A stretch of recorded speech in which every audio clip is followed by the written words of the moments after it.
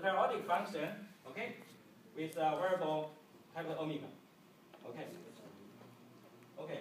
So based on this equation, we know that how can we calculate the spectrum based on the sampling signal?